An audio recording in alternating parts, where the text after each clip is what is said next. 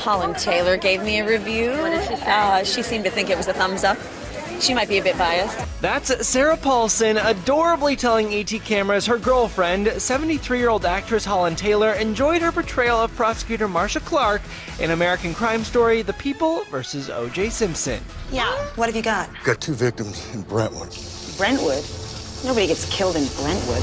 The 41 year old stepped out for the show's premiere Wednesday night in LA. She explained the extent she went to to get into character.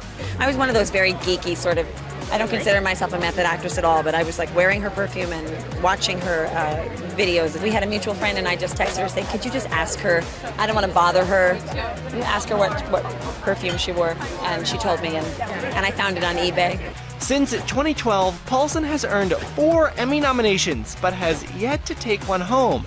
So we had to ask will 2016 be her year? Here's hoping. I mean, I don't know. I'd love to get one someday. American Crime Story premieres February 2nd on FX.